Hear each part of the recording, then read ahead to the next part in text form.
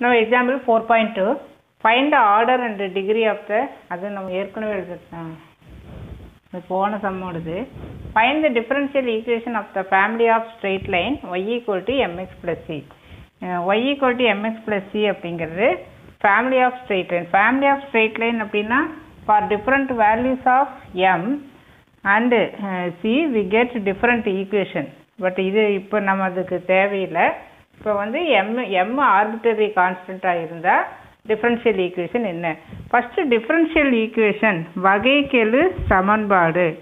வகைக்கெழு சமன்பாடு differential equation அப்படின்னா அந்த நீ எழுதுகிற ஆன்சரில் கண்டிப்பாக டிஒய் பை டிஎக்ஸோ அல்லது டி ஸ்கொயர்டு பை டிஎக்ஸோ இட் இஸ் எ மஸ்ட்டு கண்டிப்பாக அந்த ஆன்சரில் வந்து கண்டிப்பாக அது வந்து இருக்கணும் அப்படின்னு அர்த்தம் so when you form differential equation இந்த ஃபைனல் ஆன்சரில் டிஒய் பை டிஎக்ஸோ அல்லது d squared y by d x ஸ்கொயர்டோ இந்த மாதிரி இருந்தால் தான் இதை தான் டிஃப்ரென்ஷியல் ஈக்குவேஷன் அப்படின்னு சொல்லி சொல்லணும் this is ordinary equation versus this is differential equation d y by d x plus அப்படின்லாம் போட்டுருக்கிறது டிஃப்ரென்ஷியல் ஈக்குவேஷன் இப்போ ஃபஸ்ட்டில் வந்து என்ன சொல்லியிருக்குன்னா m is arbitrary constant arbitrary constantனா change ஆகிட்டே இருக்கும்.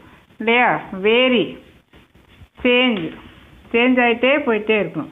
அதுதான் ஆர்பிட்டரி கான்ஸ்டன்ட்னு சொல்கிறோம் இப்போ இப்போ இது இந்த மாதிரி இருக்குது எம் ஒன் இப்போ இந்த இங்கே இங்கே போடுறோன்னு வையேன். இது இது வந்து எம் ஒன் என்ன? Tan theta opposite by adjacent side இல்லையா? So m equal to tan theta தேவையில்லை இருந்தாலும் இதுதான்.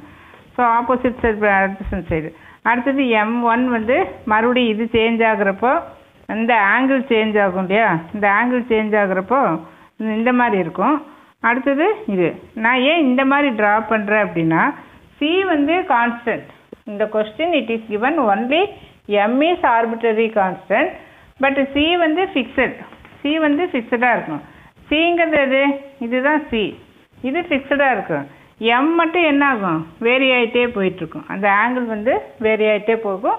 So that you are getting different answer அப்போ எது ஆர்பிட்டரி கான்ஸ்டண்ட்டோ தட் ஷுட் பி எலிமினேட்டட் அது வந்து நாட் இன் த ஆன்சர் ஆன்சரில் அது இருக்கக்கூடாது. Not in the answer so please think that when you write the answer m அப்படின்னா ஆன்சரில் இருக்கக்கூடாது. பட் சி இருக்கலாம். சி வந்து fixed fixed constant fixed constant வந்து இருக்கலாம். பட் ஆர்பிட்டரி கான்ஸ்டன்ட் வந்து இருக்கக்கூடாது. ஸோ இப்போ நம்ம எழுதக்கூடிய ஃபஸ்ட்டில் எது ஆர்பிட்டரி கான்ஸ்டன்ட் எது மாறத்தக்க மாறலையோ இது வந்து ஆன்சரில் கண்டிப்பாக இருக்கக்கூடாது. ஸோ நம்ம இப்போ டிஃப்ரென்ஷியேட் பண்ணலாம். So y equal to m x plus c எவ்வளோ ஆர்பிட்டரி கான்ஸ்டன்ட் இருக்கோ அவ்வளோ டைம் தான் டிஃப்ரென்ஷியேட் பண்ணணும் எம் வந்து ஒரு ஆர்பிட்டரி கான்ஸ்டன்ட்டு இல்லையா?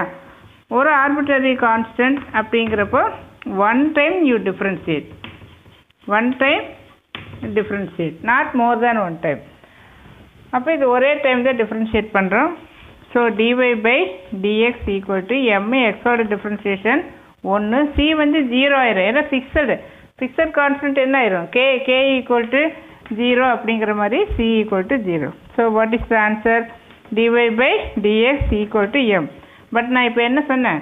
எது ஆர்பிட்ரரி கான்ஸ்டன்ட்டோ அது வந்து ஆன்சரில் இருக்கக்கூடாது. ஆன்சரில் கண்டிப்பாக இருக்கக்கூடாது. அப்போ இந்த வேல்யூ எடுத்து இந்த ஈக்குவேஷனில் எழுது. ஸோ ஒய் ஈக்குவல் டு எம்எக்ஸ்னு இருக்கு இல்லையா? Then y equal to instead of m you are writing d y by d x so d y by d x x c எழுதலாம். You eliminating only arbitrary constant fixer constant வந்து இருக்கலாம். So இதோட answer over இந்த ப்ராப்பராக எழுதுனா d y by d x x plus y அந்த side கொண்டு வா. Minus y plus c equal to zero this is a required differential equation differential equation அப்படின்னு சொல்லி எழுதுகிறோம் இப்போ பார்த்தீங்கன்னா லாஸ்ட் ஸ்டெப்பில் என்ன இருக்குது d y by d x in terms of y இருக்குது. ஒய் இருக்கலாம். D y by d x இருக்குது so that is differential equation now next one m arbitrary constant அடுத்தது c is the arbitrary constant second வந்து c arbitrary constant c என்பது மாறத்தக்க மாறிலி. அந்த arbitrary கான்ஸ்டண்ட்டாக அது இருந்தால் இது என்ன ஆயிடணும் எலிமினேட் ஆயிடணும் அதாவது நீக்க வேண்டும். இது இந்த இது வந்து நம்ம நீக்க வேண்டும். நீக்குதல் அவசியம். இல்லையா? அப்போ ஒய் ஈக்குவல் டு இங்கே m x plus c differentiate பண்ண என்ன வரும்? D y by d x equal to இங்கே எம் ப்ராக்கெட் ஒன்று இல்லையா? இப்போ இதில் எது ஆர்பிட்டரி கான்ஸ்டன்ட் சி தான் ஆர்பிட்டரி கான்ஸ்டன்ட் அப்போ இந்த சி வந்து நமக்கு இருக்கக்கூடாது. இப்போ இங்கே ஆன்சரில் சி இருக்கா? இல்லை. அப்போ அவ்வளோதான் answer over so d y by d x is equal to m அப்படின்னு சொல்லி எழுதிடுறோம். ஏன்னா ஆன்சரில் வந்து ஆர்பிட்டரி கான்ஸ்டன்ட் இருக்கக்கூடாது. இங்கே ஆர்பிட்டரி கான்ஸ்டன்ட் இல்லை. அதனால் இதோட அப்படியே நம்ம ஸ்டாப் பண்ணிக்கலாம். Then next one m and theta இல்லையா? இங்கே ஆர்பிட்டரி கான்ஸ்டன்ட் அப்படிங்கிறப்ப சி வேரி ஆகும்னு சொன்னோம் இல்லையா? அப்போ சி வேரி ஆகும் அப்படின்னு சொன்னால் இப்போ ஃபஸ்ட்டில் வந்து இந்த சி வந்து ஃபிக்ஸடுன்னு சொன்னோம். இப்போ சி வேரி ஆகும் அப்படின்னு சொன்னோம்னா இது இந்த டிஸ்டன்ஸு அதே மாதிரி இந்த டிஸ்டன்ஸ் இந்த சி எல்லாம் என்ன அது வேரி ஆகிட்டே போயிட்டுருக்கு. மாறி மாறி வந்துட்டுருக்கு. பட் ஆங்கிள் வந்து சேமாக தான் இருக்கும். எம் வந்து சேமாக தான் இருக்கும். பிகாஸ் இந்த இதில் வந்து நமக்கு இந்த டிஸ்டன்ஸ் தான் மாறிட்டே போதே தவிர ஆங்கிள் வந்து சேமாக இருக்குது எல்லாமே பேரலாம் வரக்கூடியது. ஸோ எம் இஸ் கான்ஸ்டன்ட்னு சொல்லி சொல்லலாம்.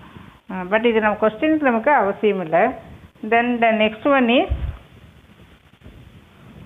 which one both m and c are arbitrary constant ரெண்டுமே ஆர்பிட்டரி கான்ஸ்டன்ட் இதில் என்ன எழுதிக்கலாம் எம் மற்றும் சி மாறத்தக்க மாறிலிகள். அப்படின்னா என்ன? இரண்டையுமே ஆன்சரில் இருக்கக்கூடாது. இரண்டையும் நீக்க வேண்டும் அப்படின்னு சொல்லி சொல்கிறேன் that means both are eliminated both are eliminated எலிமினேட்டட்னா அது இருக்கக்கூடாது. ஆன்சரில் வந்து இருக்கக்கூடாது அப்படின்னு அர்த்தம். இப்போ இங்கே என்ன எழுதணும்? Y equal to m x plus c so d y by d x equal to m bracket x இங்கே zero so d y by d x equal to m இதோட ஆன்சர் ஸ்டாப் பண்ணக்கூடாது. எத்தனை ஆர்பிட்டரி கான்ஸ்டன்ட்டோ அத்தனை time differentiate பண்ணும் ஒரு arbitrary constant இருந்தால் you differentiate one time இன்னொரு ஆர்பிட்டரி கான்ஸ்டன்ட் இருந்தால் you differentiate another time second time differentiate பண்ணணும்.